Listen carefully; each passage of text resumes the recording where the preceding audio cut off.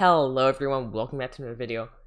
It's been a while since I've made an actual well-edited video, so I want to go back to doing that because that's I enjoy doing that too.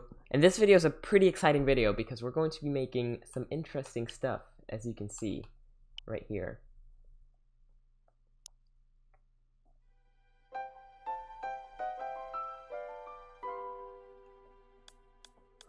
And before starting the video, I really want to give a big thanks to Captain Nemrac for helping me a lot with the uh, creation of NSP files.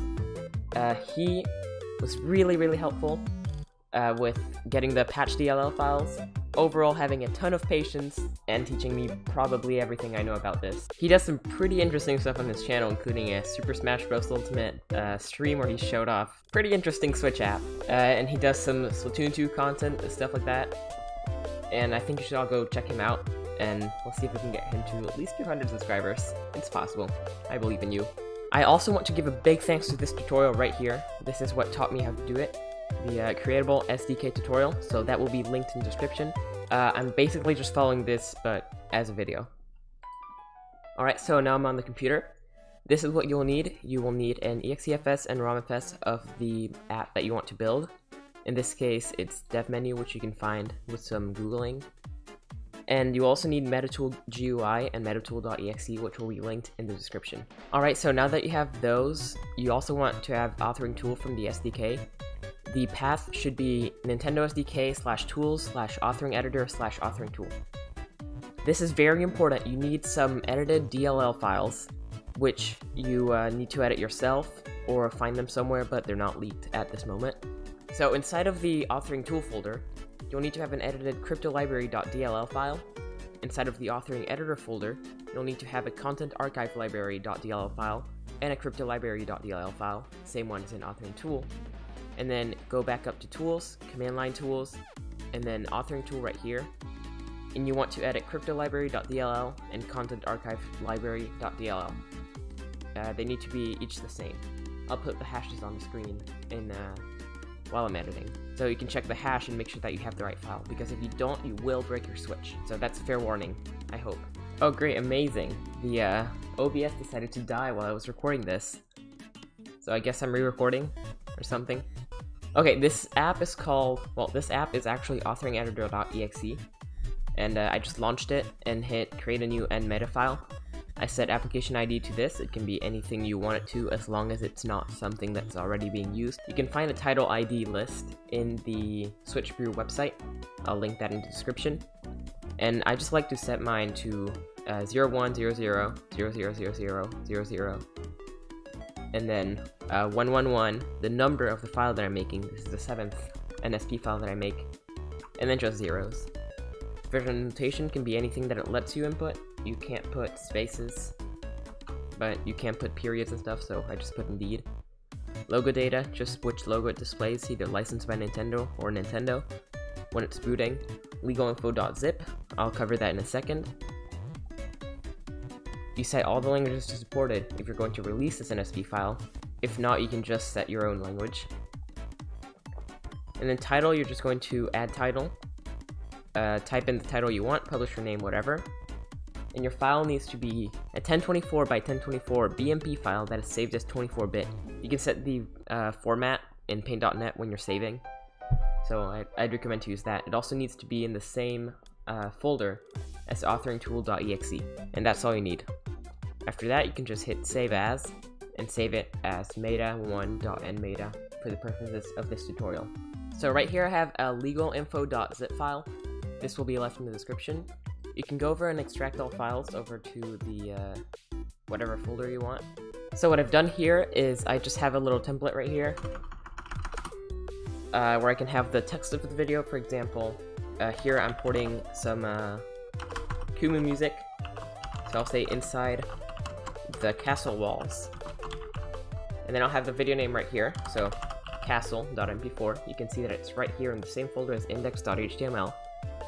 And then I'll just go and copy and paste this on two more lines, and then replace it with the video names. So, Delfino Plaza. I'll put Delfino there, and then here I'll put Dusty Garden. So now that the index.html file is done, we can just hit, we can just hit Control S and have it saved, and then it will be modified right here. When that's ready, we can go over to the legal info folder, select both of these, and then hit send to compress zip folder, and call it legalinfo.zip. Make sure inside, when you go inside, there's this. There's no legal info folder, just these. And then once you have that, you can just go over to the authoring editor right here.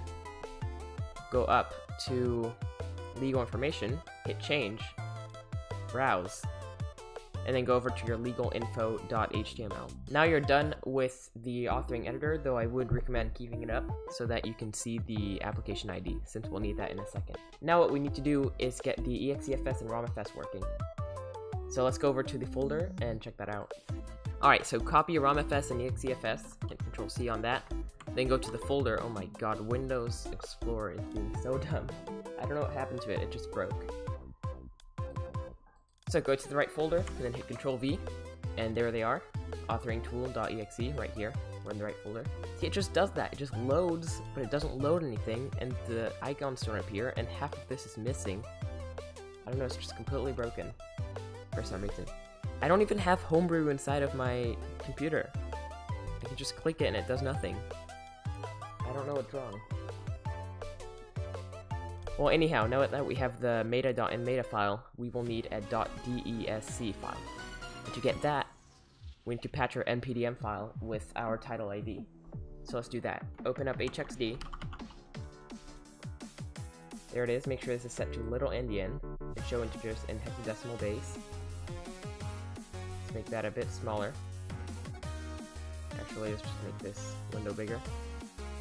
And then you're just going to go over to your main.npdm file, the one that's inside of the authoring tool folder, and drag it into HXD. You'll see this. Don't worry, nothing is wrong, it's normal. Go to where you see ASCII, not acid, ASCII. And then go down the line from that. You'll see the dev menu title ID.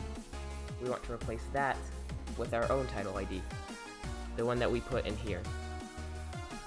So it will be uh, 0100 00 00 11 17 00 00 00. There's a little there's a little issue. NPDM files are completely messed up and they do everything backwards. So we're gonna have to account for that. Right here, let's just pull it up.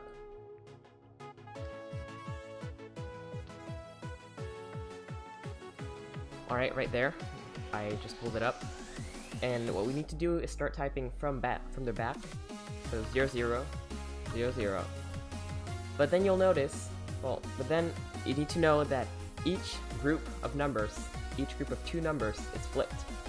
So right here, instead of writing 7, 1, as we would if we were writing backwards, we'll write 1, 7. So 1, 7. And then just 1, 1, 0, 0, 0, 0, 0, 0. And then instead of 1, 0, we type 0, 1. And then hit Control S. So now that that's done, all we need to do is open up the GUI and convert this file. The GUI being MetaTool GUI right here. So convert NPDM to desc, and then open up the NPDM file we modified inside of the authoring tool folder. So right here, exefs npdm. And then save it in the authoring tool folder as main.desc.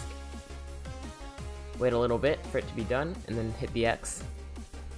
And now we're basically done with uh, the first part, and now all we need to do is convert it to NSP. How do we do that? Using authoring tool. So I'll provide a commands in the description, but what you need to do is go over to the authoring tool folder, then open up a command line here, so cmd, and then copy this cd into that, and then just type the command. And now, uh, in the command that we'll type, we'll just make it meta1.meta, this is main.description, NSP, and then the rest is just you don't need to worry about. Hit enter, and then if you did it right, it will just output that. If you didn't, because that, that was wrong, then it, it will give you that, and you'll know that you did something wrong. So anyways, if it does output that, you'll go back to your authoring tool folder. Hecking infinite green bar, what is wrong with that? Just hit the X. Okay, and then reload, and you'll see that you have all these files. right click them, open them with Notepad++, and then we're going to search for a few things. This is really important, else you can break your system. So you want to search for encryption type 3, and I just like to immediately replace, and replace in all open documents. You'll see four occurrences were replaced. And then we're just going to search for hardware, find in all open documents, you'll see one or two, in this case one, and then you go over to that and hit it, and make it false. Now save everything. Yes, save. Done. So now that these files are edited, we can now make the NSP. To do that, you'll just type authoring tool, create NSP, and then the NSP name, so I'll just call this one Kumu .nsp.adf. This has to be the same name that we used before, right here. Space, uh, hyphen O, and then kumu.nsp. This is the output file. Hit enter, and then hopefully it will work and not give you any errors. If it did, then you might not be able to build this file. Go back to the authoring tool folder, you'll see a kumu.nsp. Now we need to make sure that this NSP is not corrupted, is not done with the wrong DLLs, and just that it will work.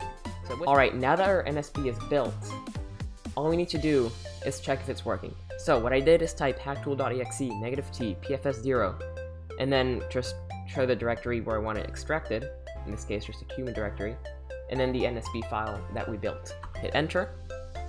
If it says saving some stuff, then that means you did it right. But just to be sure, we want to try to decrypt the NCA files, just to make sure that they can be decrypted. So type this, hactool.exe, negative t nca, negative negative k, and then your keys. Make sure that they're the retail keys, and then romfs dir to the directory where you want them extracted. Then just drag an NCA file onto CMD. There we go. And if it says saving some files, that means that you did it right. So now that we have the NSP built, and we know that it worked, that it's working, all we need to do is install it to our switch. So let's go over and do that. Anyhow, I just copied the NSP file right here. It was not copied properly, because of my stupid SD reader. And then you can reboot it into RCM mode and inject payload. Launch firmware and see you on the switch. And let's go into developer menu. And just install the NSP file that we've created. So it should be called kumu.nsp. System memory, start. Now if you did anything wrong right here, your switch will brick. So make sure you do have a NAND backup with the BIS keys. Install completed, close, go back to the home menu, then close dev menu, and you'll see your app appear. If you go here to support information, you'll see the HTML file that we created, and you can just click on anything, and it will play the music.